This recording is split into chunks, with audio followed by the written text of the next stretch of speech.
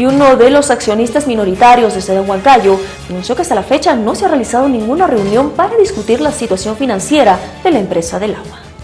Emerson Nolasco Delgado, uno de los accionistas minoritarios de Sedam Huancayo, denunció que sospechosamente durante todo el 2012 los responsables de esta empresa no han convocado a una sola reunión para discutir la situación financiera, de proyección y la forma de trabajo para este año. Definitivamente pareciera que los miembros del directorio, que son los responsables de convocar a las autoridades, a los miembros de la Junta, frente a cualquier circunstancia de la empresa, no ha sido convocado durante casi prácticamente este año.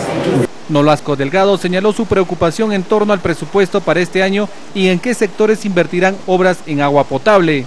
Nosotros no sabemos dónde o para qué se ha asignado el presupuesto del año 2013 de lo que es la empresa de Huancayo. ¿Dónde se va a invertir eh, en, en, el Tambo, en Huancayo, en Chilca? ¿Dónde? No sabemos prácticamente como miembros de la Junta.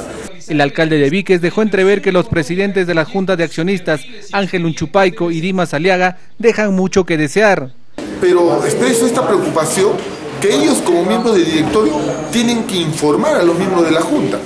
No puede ser posible pues que durante todo un año no haya habido reunión de las juntas empresariales. Es decir, hay tantos problemas de la empresa, entonces subjetivamente conocemos los miembros de la Junta. Nos estamos simplemente convirtiendo en monigotes. Por otro lado, llamó la atención de los demás accionistas minoritarios de Huancán, Huacrapuquio y Chilca. ¿Esta es la responsabilidad de Ángel Uchupaico compartida con Dimas Aliaga? Bueno, definitivamente, a no ser que a los miembros de la Junta Mayoritaria estén informando pues todas las cosas que pasan dentro de la empresa, especialmente al colegiado de la Junta Empresarial, no se nos ha convocado por lo menos para resolver o discutir por lo menos el presupuesto del presente año para, para poder saber específicamente.